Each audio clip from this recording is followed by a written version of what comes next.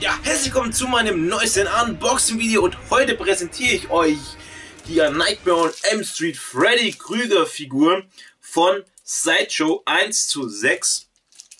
Ähm, da gab es schon ein Video auch schon bei Micha und bevor das Video online kam, war eigentlich schon mein Kopf, dass ich die Figur haben will und da wurde es noch mehr bestätigt und somit habe ich sie mir gekauft.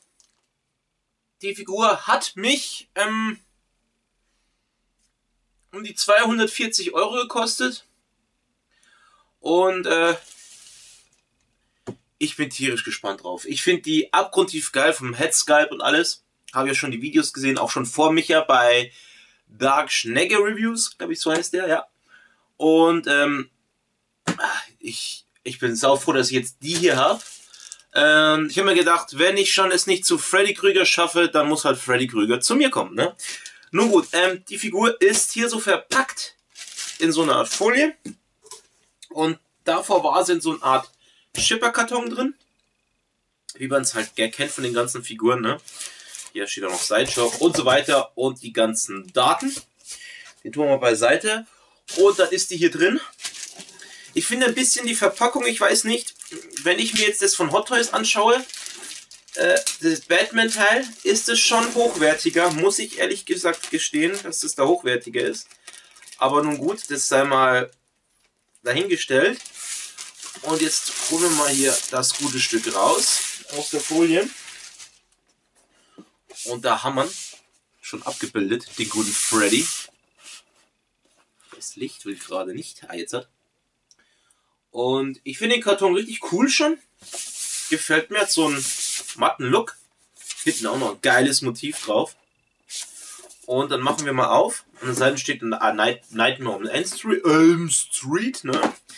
Dann machen wir mal das gute Ding auf. Also, es hätte vielleicht hochwertiger sein können, aber das ist ja egal. So, dann tun wir mal das hier rüber. Und da ist er drin.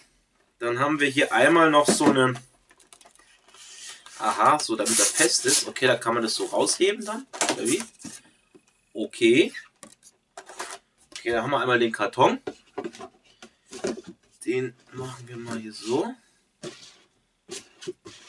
Zack. Stellen wir hier in die Ecke. So, dann haben wir hier so eine Karte. Thank you von Sideshow. Sogar Sideshow hinten drauf. Mehrere Sprachen.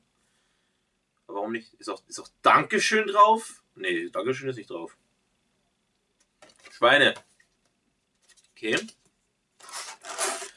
Und dann haben wir halt so eine Banderole, damit es hier alles dann zusammenhält. Die ziehen wir mal ab. Da steht auch ein Nightmare on Elm Street drauf und Freddy Krüger, wenn ich es hier überhaupt abkriege. Oder muss ich die hochziehen? Hoch oder runter? Je nachdem. Ich will das irgendwie. Wie mache ich das ab?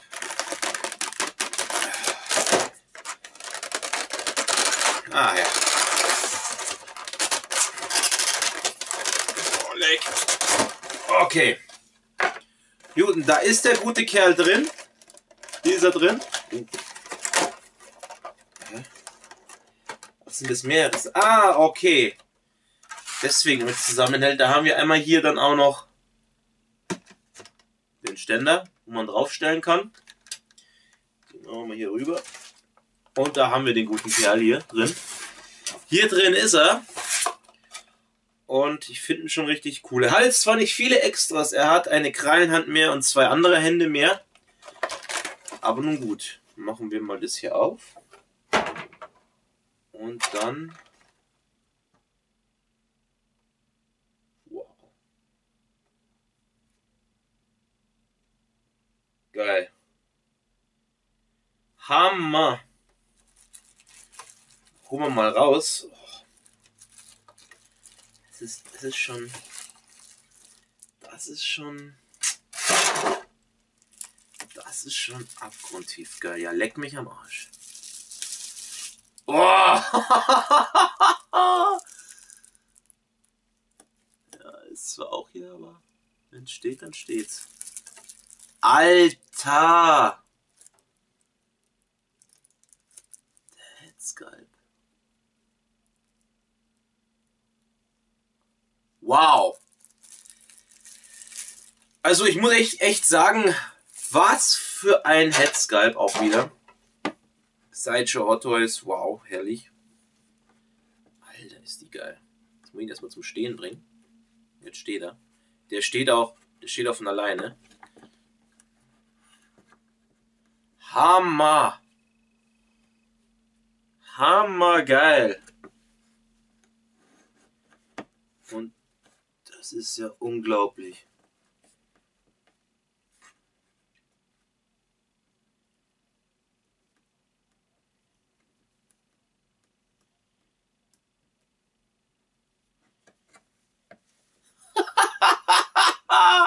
Sau stark. Sau stark. Wie gesagt, es kommen nach dem Video noch ein paar Nahaufnahmen. Aber ich, ich bin jetzt schon total begeistert von dieser Figur. Zwar könnte man sich für das Geld 240 Euro, je nachdem, wo man bestellt, ich habe es nochmal nachgeschaut, man könnte es sogar machen bis zu 230 noch bei anderen Seiten. Aber das war ein bisschen zu unsicher. Und ich habe mir gedacht, bestell mal einfach dort, wo die anderen bestellen, der ist schon sicher. Und ähm, ich muss ehrlich gesagt gestehen, sie ist saugeil. Sie ist saugeil. Wenn ich es aber vergleiche mit ähm, von Batman Returns, ist das schon eine, ein Kaliber mehr. Aber ansonsten ist das eine abgrundtief geniale Freddy-Figur. Und wenn ich jetzt da noch, das habe ich ja hier irgendwo, Moment, oh Gott. Und wenn ich jetzt mir dann noch so vorstelle, da noch die Kralle mit ausgestreckten Fingern in der Vitrine oder so. Daneben saustark. Saustark, die stellen wir jetzt hier wieder herüber. Und ähm, wow. Also ich finde es richtig geil mit dem Stoff und alles. Richtig, richtig cool. Und es ist ja der Freddy, glaube ich, von Teil 3, Dream Warriors. Ist ja einer meiner Lieblings-Freddy-Teile. Natürlich der erste ungeschlagen, aber wie, wie auch schon in den Videos bei Micha und auch bei Dark Schnecke, also der Oberkörper ist ein bisschen Lavede. Wie schaut denn das da aus überhaupt? Aha, okay. Also das ist schon...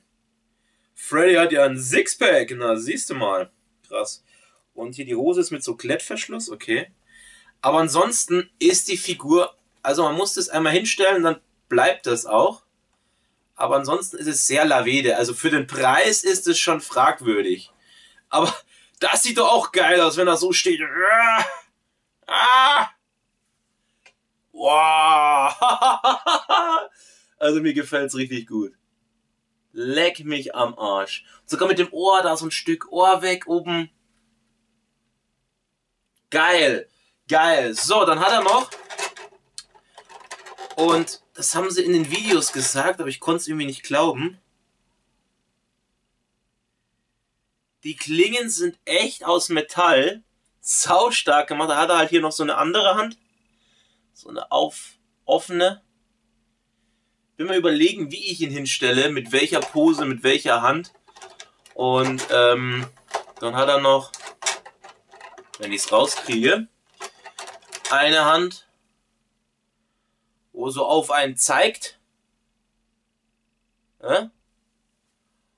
Und natürlich na, eine, Pfau, eine, Pfau, eine Faust. Ne? Sau stark. Mehr ist da nicht dabei. Und ja, für den Preis ist es etwas happig. Also würde man so um die 200 Euro, würde ich sagen, wäre es okay. 170 bis 200 Euro. 240 ist schon etwas happig. Aber ähm, es lohnt sich auf jeden Fall für den Headsculpt, für diese Hände genial gemacht und man noch so angezogen. Sau stark. Es ist, glaube ich, eines der schönsten in der Größe von Freddy-Figuren, hat ja, glaube ich, auch der Micha gesagt.